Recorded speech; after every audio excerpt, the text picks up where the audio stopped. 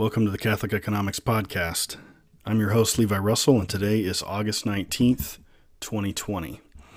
Today, I want to give an overview of Chancellor Dollfuss's constitution. So, uh, Chancellor Dollfuss was um, the was the Chancellor of Austria for a few short years in the 1930s, um, and after that, he was uh, murdered by the Nazis. Um, but I was, as I was reading through a biography of Chancellor Dollfuss uh, written by Messner, uh, so check that book out, please. Um, I it was kind of hit me that there there wasn't a terrible lot of uh, information about sort of the economics and uh, maybe some of the political stuff. Uh, although it's really important to just understand uh, Chancellor Dollfuss himself because there was uh, Messner and, and, many others credit Dollfuss with sort of putting Catholic social teaching at the center point of his government. And so I wanted to know more about uh, the Constitution that he had and what his vision was, even though it wasn't really implemented very well um, after his passing, tragically. Uh, so that's what I'm going to cover today. Before I do that, uh, I want to just remind you that you can uh, support the show directly through Anchor.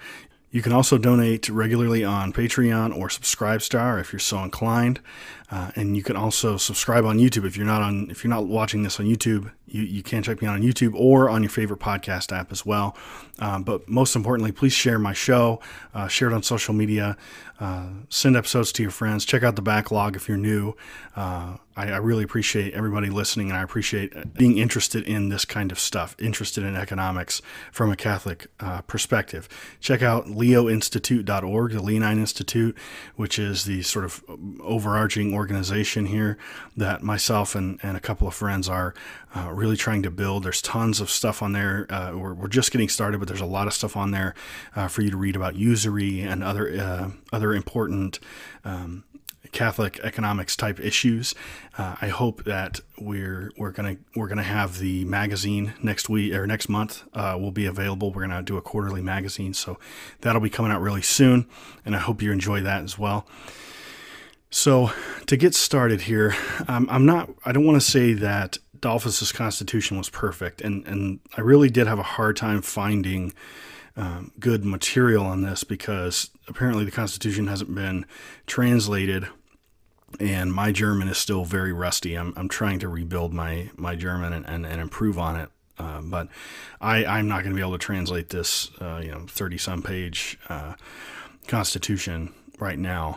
And so I was looking for something to read on it, and I and I happened across uh, an article in the American Political Science Review, which is, um, I would say, probably one of the most preeminent um, uh, journals uh, in the political science and, and in general in the social sciences. And this article is from August 1934, and I'm gonna I'm gonna have a a link to this article but you will not be able to read the whole thing um, unless you have some kind of university access or some other type of library access. Um, if you're interested in having a look at the actual document itself, please send me an email. My email is at the bottom of the show notes. Just shoot me an email and I'll I'll figure out how to get it to you. Um, but this is a, a, nice short little article that uh, it's what six pages long it, it, tries to kind of get across the main themes of the Constitution, and that's that's sort of what I'm going to go through um, today. So I don't think that this the author, uh, let's see, Arnold Zurcher, uh, is particularly uh, favorable to Dollfuss or the kind of general idea in this Constitution. I think he, he seems to be more of a liberal Democrat type, but I, I don't want to I don't want to get too much into that because I'm not really sure. It's just he seems to be a little bit uh, sort of critical, but I think it's the article's still good because it just kind of it seems to give just a basically a straight description of the Constitution, um, and so I think that's that part is is good. And I, another reason why I think this is an important discussion is because we're often treated when we're talking about Catholic social teaching and uh, and and complying with the teaching of the church as it pertains to political uh, and, and, economic uh, institutions, we're we're often told that you know this is just unworkable. Uh, you know, when we're not being lambasted as socialists or whatever, um, you know, we're just told this is unworkable, et cetera, et cetera. Uh, despite obviously the entirety of Christendom up to the 1500s uh, was basically organized around uh, subsidiarity and solidarity. Um, but this is a sort of more modern uh, interpretation. So uh, again, this is in the early 1930s, 1933, I believe, 32. Um, but this article was published in 1934, so it was certainly a contemporary type of thing. This, the the author of this journal article is writing at the time that this Constitution comes out. So, um, here's his, and this is the only time I'm really going to quote uh, extensively from this article, but he kind of gives a general overview of the Constitution. So I'm going to read this, and this is a quote uh, from Arnold Zurcher. According to the opening provisions of the new Constitution, Austria ceases to be a republic and abandons democracy and parliamentarism. Instead of a popularly, popularly elected sovereign parliament, there is to be a series of six deliberative tribunals, which together will have only a limited influence on lawmaking and no influence whatever over the conduct of administration. In their composition, particularly, these tribunals are to give expression to the so called corporative principle, allegedly the basic principle of the new constitutional order. Interests and classes, most of which will ultimately possess the status of legal corporations or public bodies and not a miscellaneous electorate, artificially divided into political parties, are to constitute the social substructure from which these six tribunals will be recruited. So that's his take on what this thing, this new thing is, and you can see that he's certainly contrasting it from the the sort of uh, uh, European model uh, that that you know we're sort of familiar with, where um, you know think of England, right? You have this uh, parliament that is basically the supreme body and and of course you have the prime minister but the prime minister is just kind of the the head political person in the party that happens to have the largest representation in the parliament and so uh, i would say you know this constitution is more similar to the system we have, but but this article doesn't really address courts, and so I'm, I'm not really sure where the courts fit um, into this whole thing.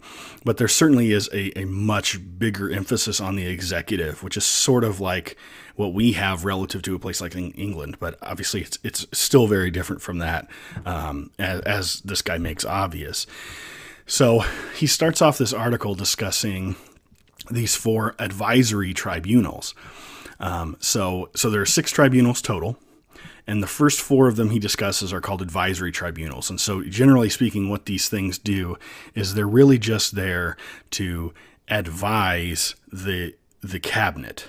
Okay, so you have the president uh, and the chancellor, and then you have the cabinet. So that's the main body. And I'm, I'm going to talk about those guys here a, a, little bit later. But these are kind of the, the organizations that I think the author of this article is, is trying, you know, he's, he's picking through this constitution, trying to find things that make sense to him.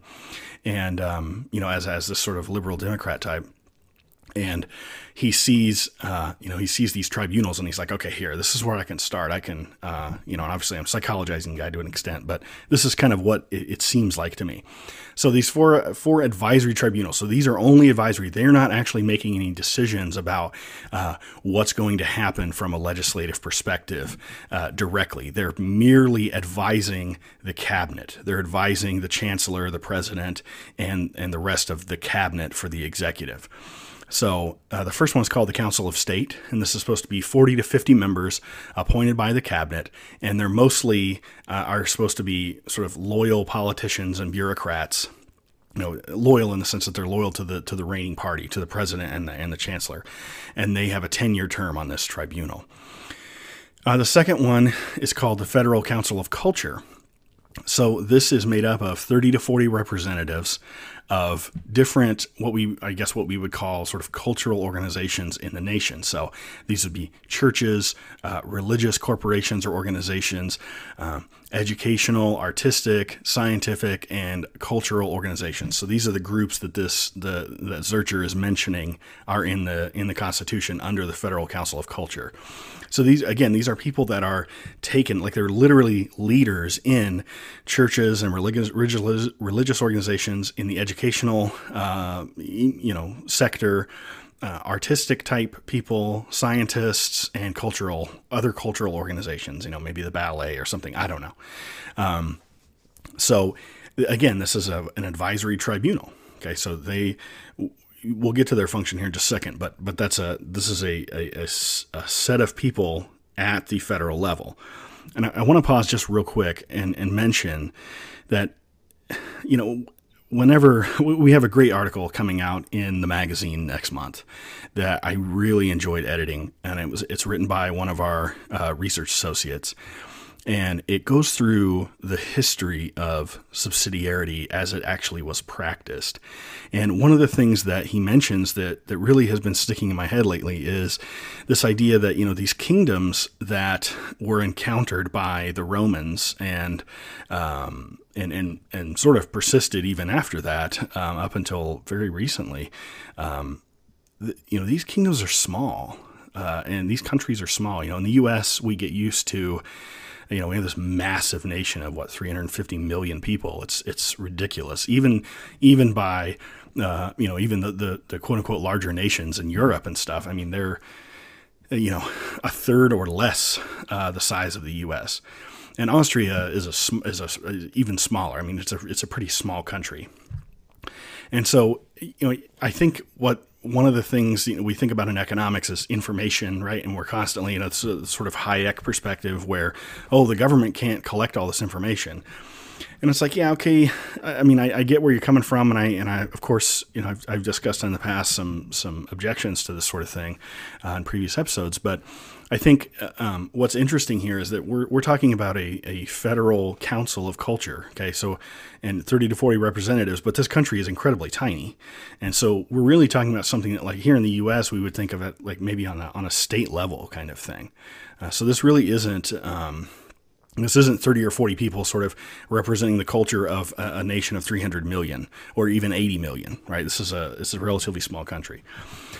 Okay, so next up we have the Federal Economic Council. So this is 70 to 80 members from, and I'm quoting again here, several groups of corporations devoted to economic and professional pursuits.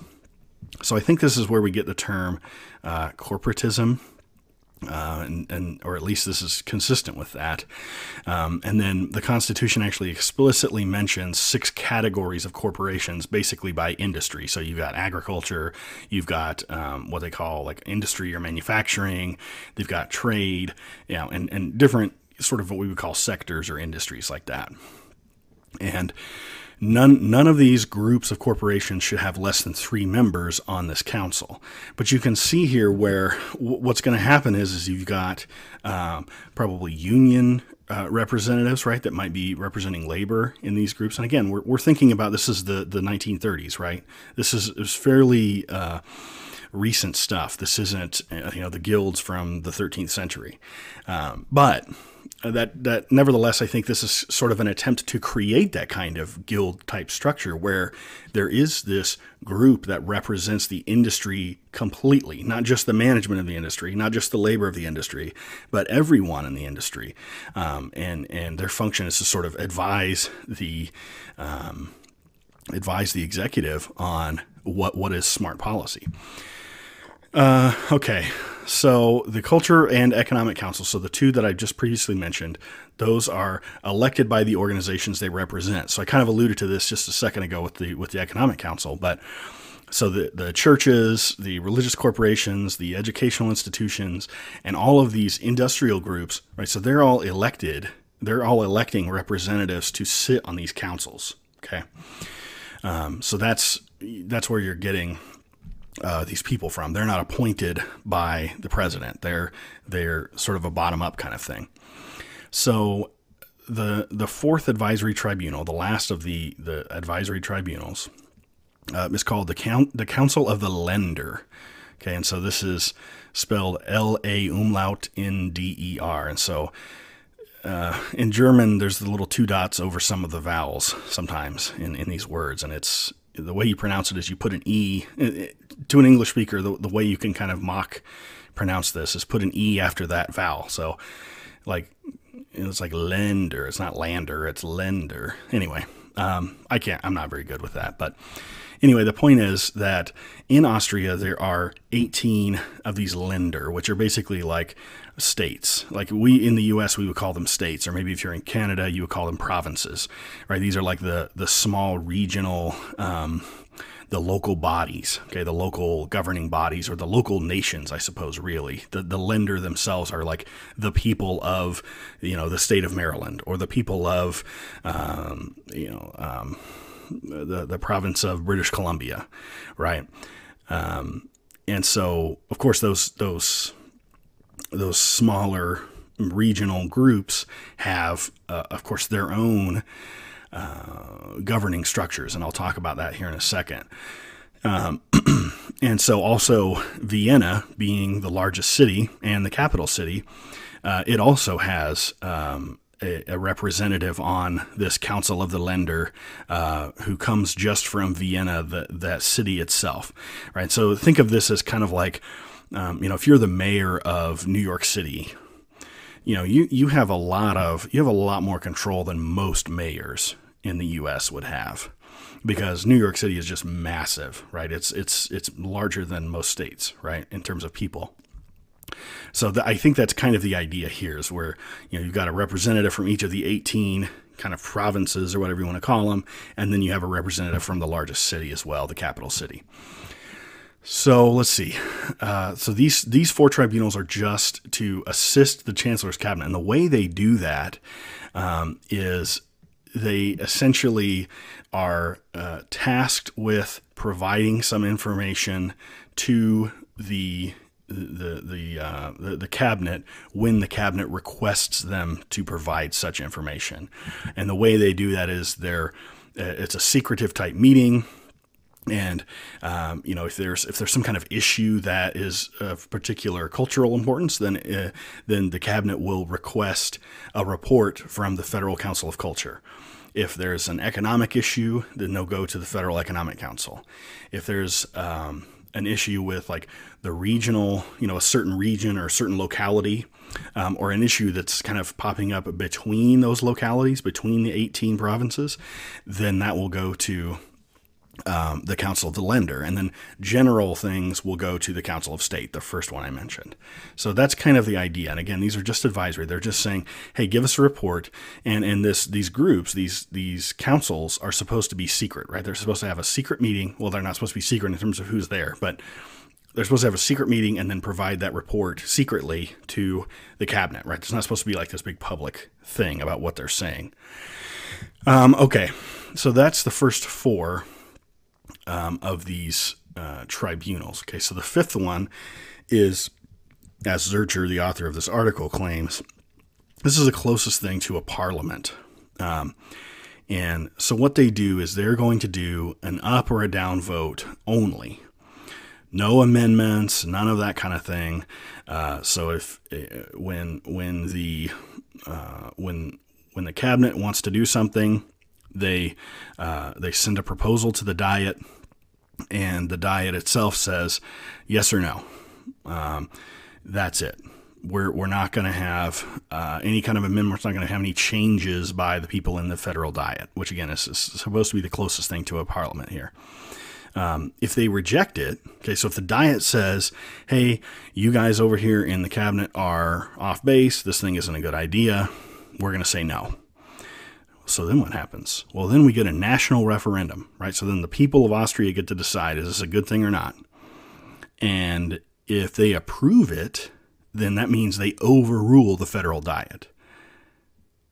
So again, there's a, a proposal that comes from the executive. It goes to the diet.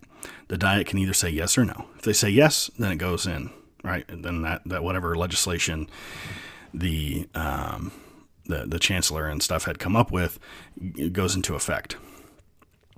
If the diet says no, then it goes to a national referendum, and the people in general, people of the whole country, decide whether or not this is a good idea.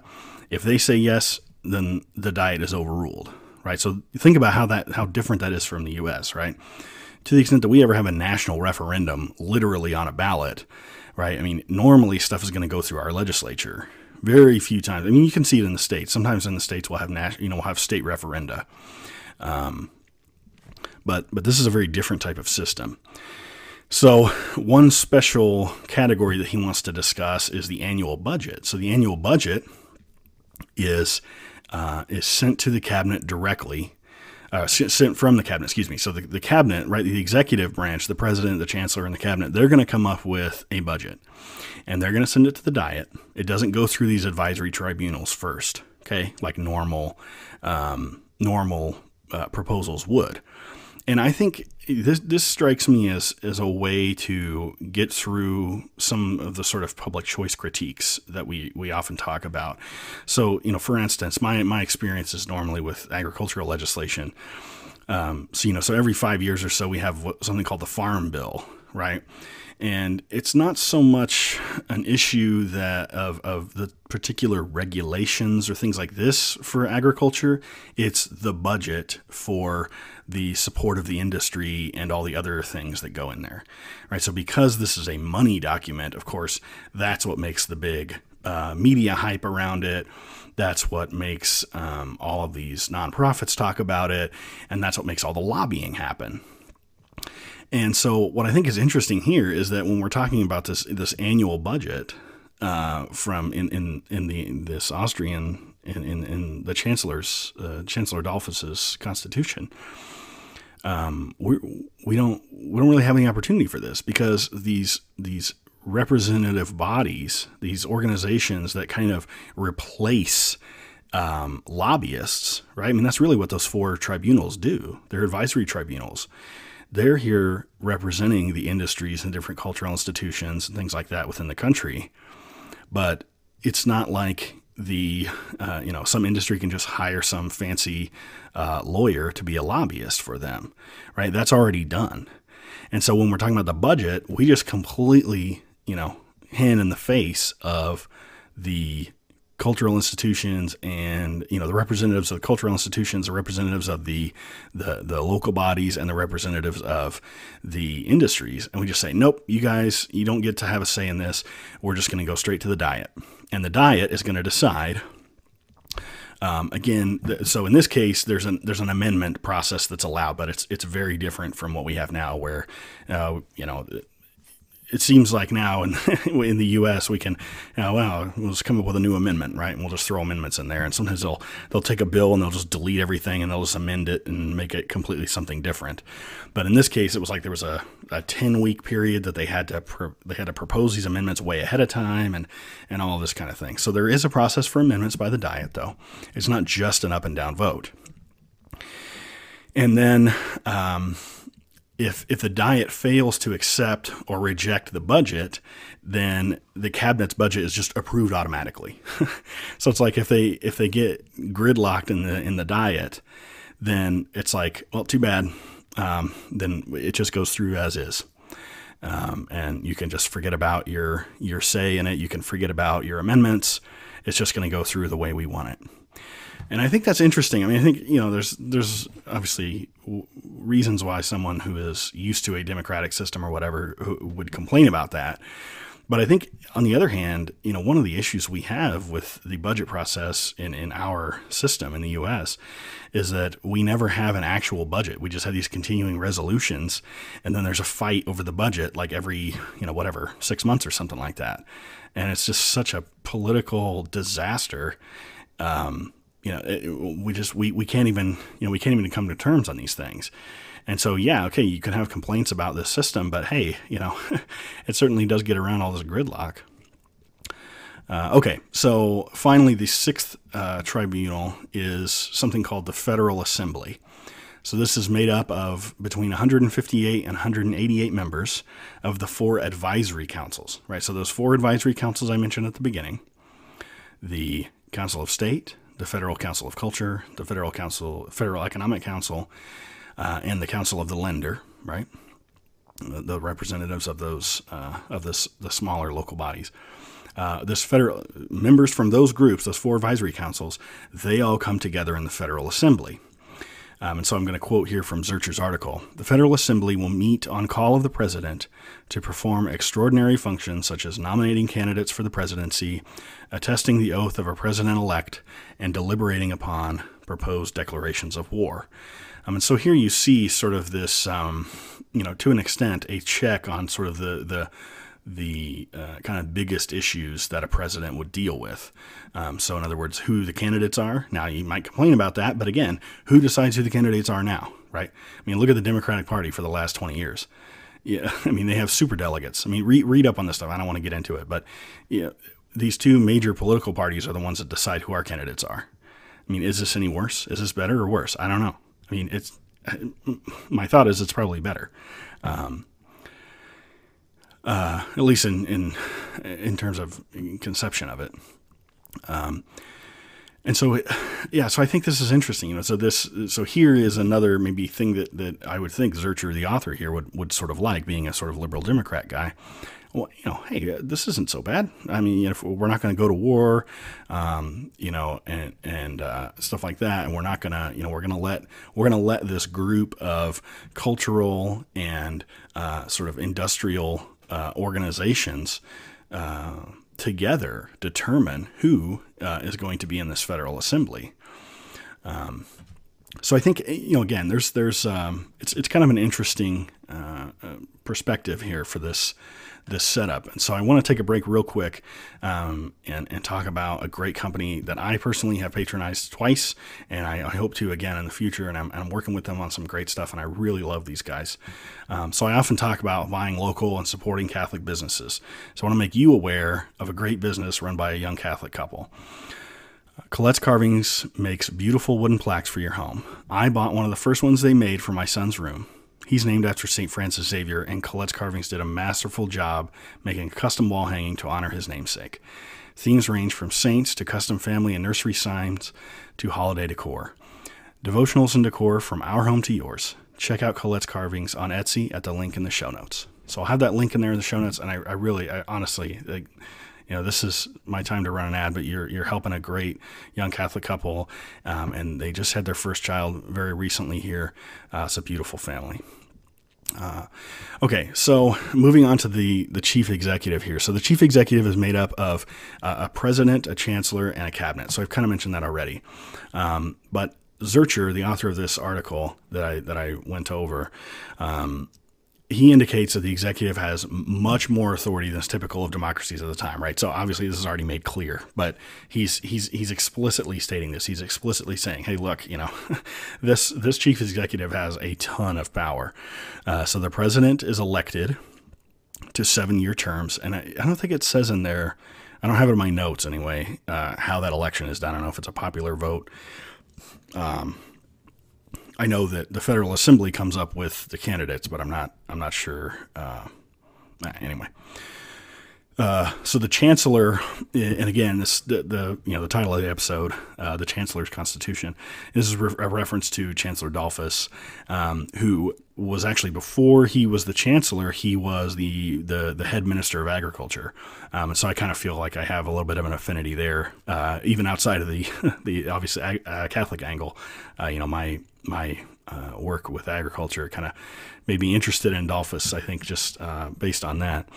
So the the chancellor is kind of like the he's he's the apolitical one. So the president's the the political guy, right? He's the one out there like dealing with all the the conversations and the issues and shaking hands and uh, you know trying to get everybody on the same page with stuff and that kind of thing but the chancellor's job is to just oversee the cabinet essentially and to make sure that the legal functions work out right um, and of course you know Dollfuss I mean in wartime uh, you know he's walking around military uniform and, and, and doing stuff like that as well. And, and I'm sure, um, you know, that, that is, is an integral part of this, this constitution as well, in terms of, you know, executing, uh, military type functions as well. Um, so that's the, that's, he doesn't, I mean, obviously the whole document is kind of about the cabinet, right? Because I mean, really, there isn't much to say about this government at the national level other than just, you know, the cabinet has these advisory tribunals, and there's kind of a, a, a parliament, sort of, but they don't have a whole ton of power. So when you know this Dollfuss gets praise from a lot of quarters, and even from some people who I would consider to be pretty staunch liberals, actually, uh, in the Catholic world, because again, the whole idea was to implement Catholic social teaching. Um, and so, you know, one of the things you might be thinking is, well, you know, this, okay, you keep talking about Catholic social teaching, but I'm not hearing anything about subsidiarity, right? I'm not hearing anything about, you know, what about the local powers? What are they supposed to do? Uh, well, in Zurcher's article here, he talks about uh, uh, briefly, I think, uh, just a, a, paragraph or two about these local powers. And so, unlike in our U.S. Constitution, right, where we just sort of have the Tenth Amendment and the Ninth Amendment, it's like, oh yeah, anything we didn't explicitly give to the federal government, you know, everybody else is supposed to handle locally. But then, of course, uh, in in practice, that doesn't work out, right? Um, Commerce Clause and and the Necessary and Proper Clause and all that kind of uh, messing all that stuff up, or at least that's uh, you know one take. Um, so Dollfuss's Constitution, on the other hand, uh, devotes two full chapters to kind of laying out the uh, the, the, the the the powers of the Länder, um, uh, the the Länder um, uh, governments, right? What what can they do? What is what is their job? What what kind of things can they handle? And there is one mention of a court in this whole article. Uh, it, there is a constitutional court that is established with the power to decide matters of jurisdiction. So here is this um, this separate body that essentially gets to decide. Okay, if if one of the local Länder uh, governments is saying, "Hey, we you know we're supposed to handle this issue, right? Whatever that issue is," um, and uh, the president or the chancellor saying, "No, it's actually our job." Uh, well, if there's a dispute like this, there's a constitutional court set up to basically look through this 33-page constitution and say, "Okay, are you supposed to be dealing with this or not? Who's supposed to be dealing with this issue?" You know, whether it's I don't know, there's not enough water or there's not enough food or there's a uh, you know there's a trade dispute or something, right? that that we figure out that jurisdiction thing with this constitutional court. So uh, Zurcher tells us that the local Länder are afforded generous powers over administration, the financial aspects, the legislation within their you know provinces. Um, it's it's sort of a little bit uh, again. There's sort of a little twist on here. So even though they are afforded generous powers over these things, which is nice, right? It's like when things are just sort of, you know, humming along and life is just kind of normal, you know, you've got your your local Länder is is your local province is is kind of handling its own affairs. Um, however, it is also true that the president, the central authority, right, the federal government, can dissolve the diets of the Länder, right? So the, the Länder are going to have diets as well. They're going to have little parliaments. Um, so the central authority can dissolve those those uh, local parliaments, and they can dissolve the the equivalent in Vienna, the Municipal Council of Vienna. Uh, they can also disallow laws uh, enacted by the local diets and remove the governors. And you know, I'm just going to go out on a limb here and guess that this whole disallowal of laws thing is probably an issue normally when there's a jurisdictional problem. I would guess that on average that's that would be the case. But I think at the same time, there's something interesting here about a sort of a solidarity component, right? So, you know, uh, to prevent your country from going, you know, 1789 style, right, French Revolution, um, you know, you do need someone to basically determine whether or not you know there needs to be you know sort of a buck stops here kind of mentality and i think this makes sense that you know obviously a president isn't going to want to create unrest unnecessarily and just make everybody mad um, by just dissolving, you know, their local parliaments at whim, you know, and just being a jerk.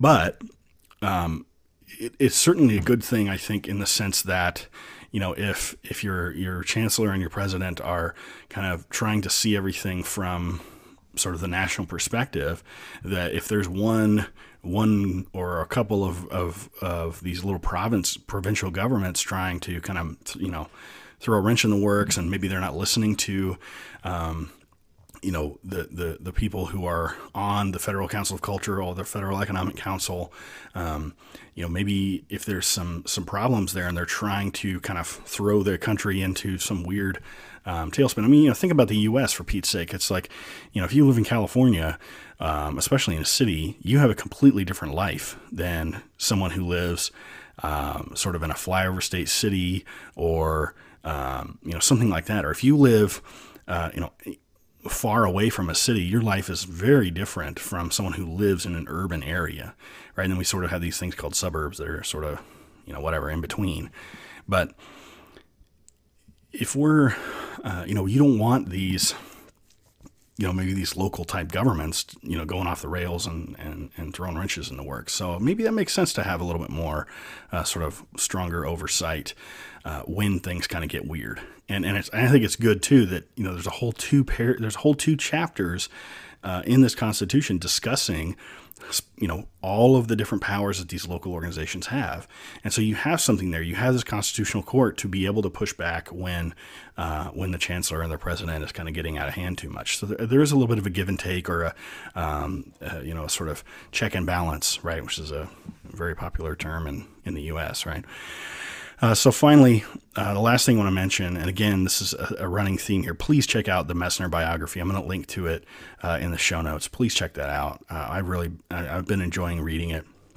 Um, and uh, you know, again, uh, Dollfuss is praised in, in Catholic circles for implementing CST, and one of the main reasons for this is that um, you know Zurcher discusses this quite significantly throughout the article, and he says uh, a distinguishing feature of this particular of, of, the the Austrian Constitution. And again, distinguishing it from uh, you know the Germans of the time and the Italians of the time and some of these other um, countries. Is, is what he says, you know, the unique position of the, the Catholic Church. So, Austria is declared a Christian state, and it affirms that all laws emanate from God. So, that's actually a quote from Zurcher's article there. It, I mean, affirms that all laws emanate from God. Wow, that's that's that's great. I mean, you know, this sort of reminiscent of some of the things we saw, at least explicitly, in the U.S. Constitution or, or by the framers, right? Um, but this is in 1930. I mean, we, you know, U.S. had already kind of given up on that, at least uh, explicitly legally.